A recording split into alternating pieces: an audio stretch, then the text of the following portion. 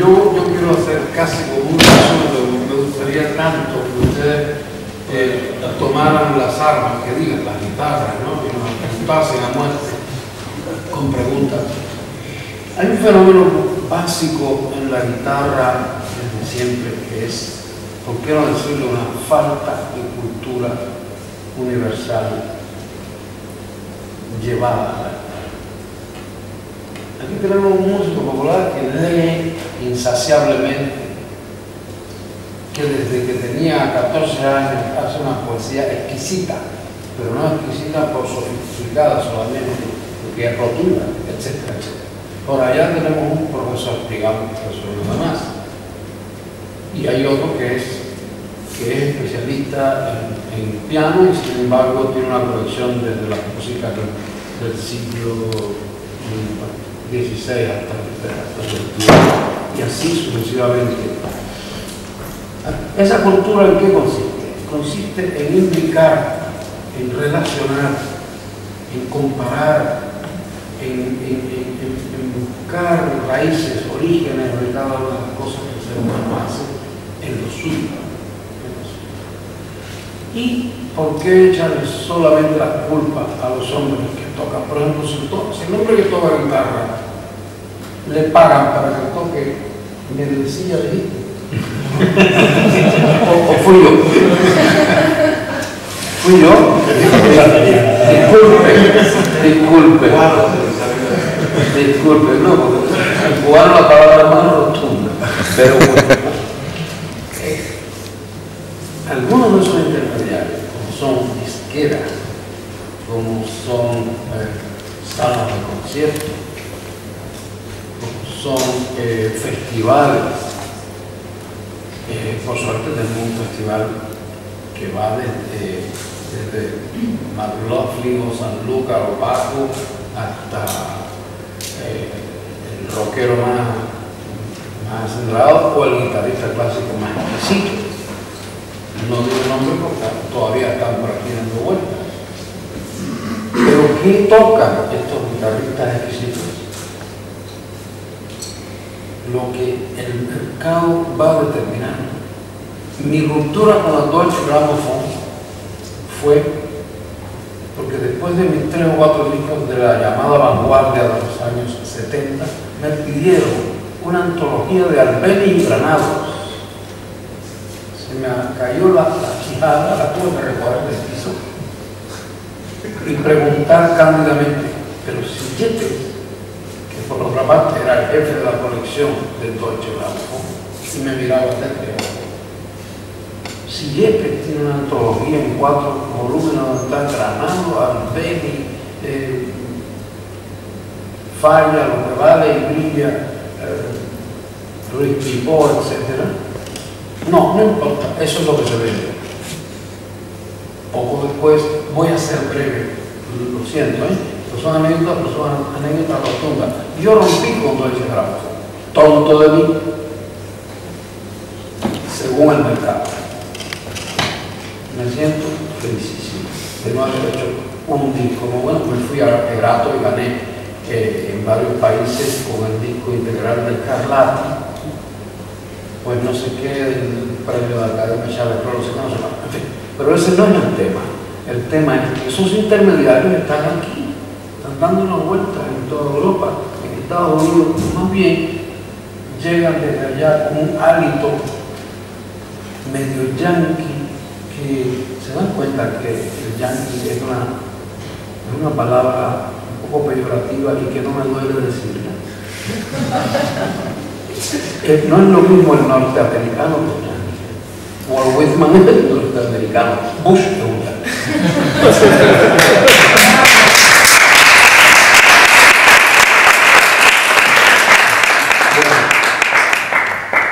Este es un mundo que constantemente da vueltas alrededor de lo que es el mercado.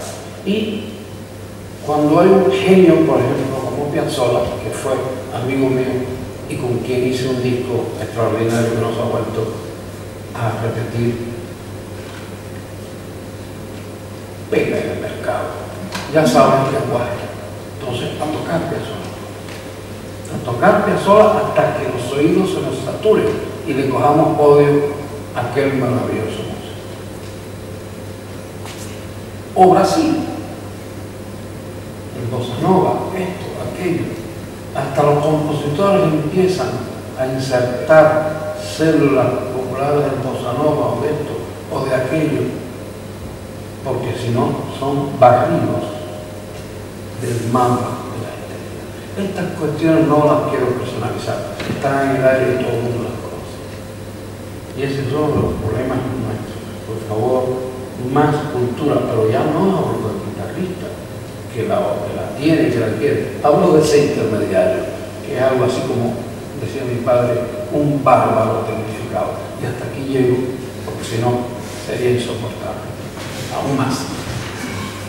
Creo que estoy seguro, vaya, que todos nosotros hay alguien que tiene alguna pregunta, alguna inquietud, alguna reflexión que quiera, aprovechando que tenemos cinco personalidades, eh, especialistas en varios temas cada uno de ellos y, y, más, seguro sabedores de muchas más cosas, mucho más. Entonces, bueno, sería el momento, no lo desaprovechéis. grandes dilemas, que es la distribución musical, tanto en la gráfica como en la discografía, etcétera, etcétera. El problema es simple, el Internet está absorbiendo hasta los cerebros. Pero no, no, favor, no piensen que estoy en contra del Internet, es una maravilla absoluta. Simplemente que está suplantando el papel de otras eh, instituciones pero no el principal enemigo. El principal enemigo se llama marketing. Y si Rolando hace ahora, Rolando, mi querido amigo, hace ahora la colección número 15 de Bossa Nova dedicados a Jobim, vende mañana. Mañana están vendidos. Pero si él hace, como hizo un Ávila Lobo, o un lenguaje un poquito más sutil se queda en el atril o en la tienda y no lo sacan ni a la, a la vidriera, vidriera, como se dice. No quiero seguir porque este es el tema que lo he visto en toda y voy a ser indiscreto. Un editor mío, con una de mis obras, ha declarado 13 ediciones. Está mal, pero no eran 13 eran 30. Las otras no se declararon, se vendieron. Entonces yo quiero más de camerones negros, tendrá que ser negro, asiático, neoafricano, siameses, no sé cuántos de aparte, menos el original. Bueno, yo creo que el tema de la edición papel es un tema en una crisis profunda y que evidentemente los autores nuevos prácticamente no tienen acceso a ella, pero no hay que pensar tampoco que los autores más o menos considerados conocidos lo tienen mejor, ¿no? De hecho, eh, hay dos, dos, partes de esto. Una, en que a es mejor no estar editado. ¿Cuál es la ahora? Cuando el, el joven guitarrista se sienta en una sala de una dimensión media de 200, 300, 400 metros, bueno, pues la taquicardia puede infartarlo y su sonido no sabemos si pueda trascender a determinado nivel, etcétera, etcétera, etcétera. Pero una soledad que es tan importante como introspección es un poquito negativa por la falta de comunicación que crea. Yo a todos mis alumnos en todas partes del mundo he dicho, comuníquense, ¿cuál es el día libre? ¿El sábado por la noche? Sábado. ¿Qué toman cerveza? Cerveza. Mira lo que estoy tomando ahora viene el violinista, viene el flautista, el otro. Eso es una de las cosas ideales para ustedes no, no más tiempo. ¿Una pregunta o una? ¿Una pregunta? Perdón. No, perdón, eso, el tema de la edición, tú estabas en Francia, tú lo debes saber perfectamente, eh, en las escuelas no se le exige a los alumnos a llevar originales. O sea, no se puede tocar con, con copias, no puedes presentarte a la escuela. A mí me parece eso una política, una buena política, que garantiza. Ahora, ¿pero qué hace falta para eso? Para eso hace falta leyes que protejan a, la música. Y, y si hace falta leyes, hace falta gobiernos que protejan la música. Y, y de pronto es un fenómeno que se vincula mucho con la política, con el sentido ya de, de cómo una, cómo los políticos ven la música, hasta, hasta dónde creen en la música como, como, como algo verdaderamente productivo, bueno para una sociedad, bueno al extremo en que hace falta protegerla y, ver en, todos los puntos donde puedan haber escapes, donde eh, se pueden tapar esos escapes para que, para que todo lo bueno que contiene la música se mantenga y crezca, ¿no? Y esta quizás es una forma. Yo, quizás es, a- lo que hay que pelear un poco a nivel legal ¿eh? Para que eso se consiga. Porque Es una inquietud me parece muy válida la que tú tienes. Pero que tiene que ver mucho, yo creo que con la política cultural. Esa es la palabra definitiva, porque suena un poco pedante, un poco... La política cultural es esencial para todo lo que estamos conversando. Y va desde la política cultural que uno mismo se plantea, a la que se le puede exigir. Desde uno hacia allá y desde allá hacia acá, en ambos sentidos. Claro, no es tan fácil, además, por los precios que ponen los editores. Yo, yo estoy decidido a robar un banco para poder comprar cuatro paquetes.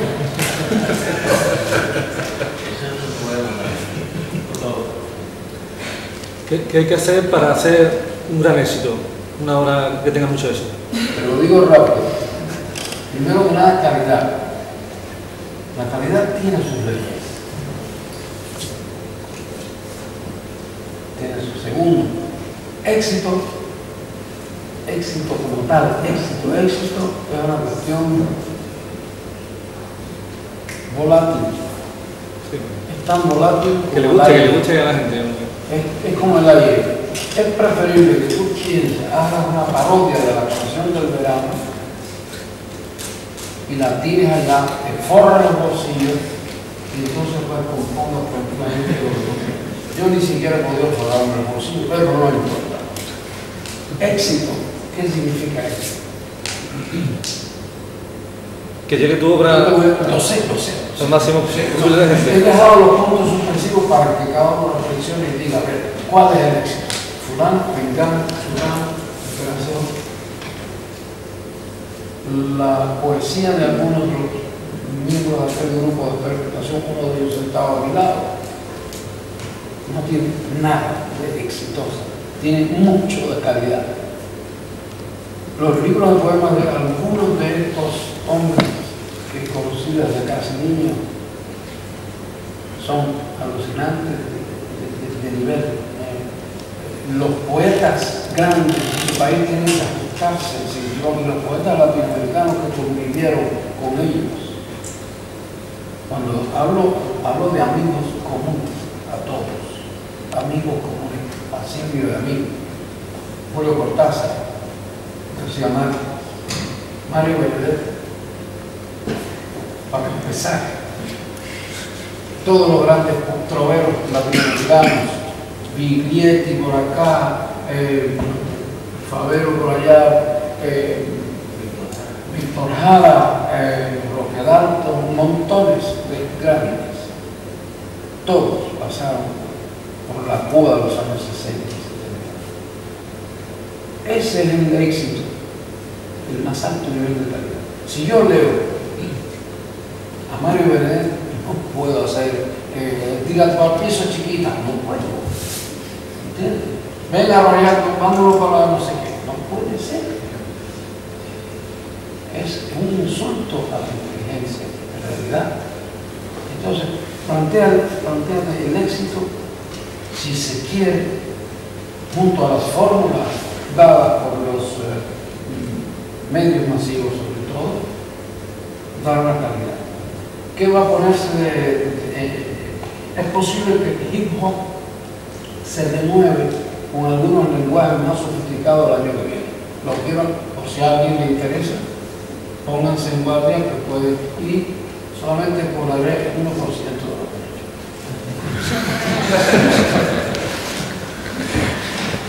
en alguna época, en alguna época cuando se ponía de moda tabla, yo lo había grabado. ¿Pero por qué? ¿Porque soy divino? No, porque hay cosas que son predecibles. El momento de Eric Satie, lo habíamos comentado, no recuerdo si fue con Tomás, su casa en Madrid, con Carlos Castro, que son grandes amigos de los cuales me honro, me. En fin, hay cosas que se pueden predecir. Absolutamente. El tema ya, ya no es el momento del tango. Entonces vamos a, volver a respirar y a ver el tango con calidad. El, el, el, el gusto, en cierto modo, de calidades, se ha ido desviando un poquito hacia Brasil, etcétera, etcétera. ¿Qué le parece a los compositores los nuevos formatos de audio que comprimen la música?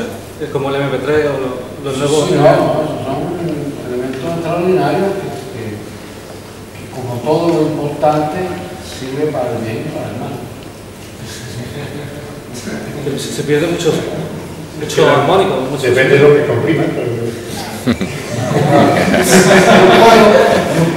sí, no, no es ninguna tontería, depende de lo que comprima. Porque evidentemente lo que generalmente se comprime con él no tiene la menor importancia, no se puede comprimir. Para ciertos formatos musicales no sirve, porque si, si cortas armónicos o cortas frecuencias, pues estás perdiendo calidad. Pero es que además el, los nuevos formatos musicales no son solo los MP3, resulta que los nuevos formatos musicales están todos los días surgiendo y surgen elementos de sonido que son inmejorables. Al mismo tiempo que el MP3 ha surgido el 5.1. El 5.1 es la mejor calidad de sonido que en estos momentos se puede obtener. Entonces, ¿por qué? Porque el MP3 sirve para muchas cosas, es para descargarse una gran cantidad de cosas de actualidad que no necesitan mayor calidad e incluso más comprimidas tampoco perdían gran cosa Claro. y en cambio el 5.1 pues es el empleo. Eh, cuando quieres meter mil canciones en un mega pues resulta que con el MP3 es más fácil hacerlo que con una CD o con una 5.1 Eh, depende de lo que quieras cantidad o una calidad extrema ¿Alguna intervención más? ¿Pregunta? Sí. Quería saber su opinión sobre la interpretación histórica la música. La, la- integración histórica. Bueno, de hecho, nosotros los guitarristas clásicos y en general esos términos que yo odio, pero que hay que usar inevitablemente para identificar, y ahí está, clásico, esa palabra clásica me, me, me, me da, me hace temblar, pero bueno, porque hay, hay una definición para lo clásico, o sea, aquello que queda, aquello que perdura, aquello que está garantizado por la historia ad eternam, etcétera. Pero, pero entiendo que los clásicos vuelve a, vuelve a, a, porque quiero, quiero pinchar y provocar a mis amigos de aquí, a Carlos y a, y a los demás. Lo quiero. No me digo bien. Repite, repítela en voz más alta para que oigan. Sí, quería saber la opinión que tienen sobre la, interpretación histórica actualmente, los nuevos grupos están saliendo y todo lo que se está avanzando sobre ello. Cada país tiene, cada país tiene su visión de la, de la cultura histórica. Pero en definitiva los clásicos somos repetidores de la cultura histórica como intérpretes. Lo que ha pasado en los últimos años es que el intérprete compositor se ha ligado a factores de tipo económico o se ha ligado a factores de necesidades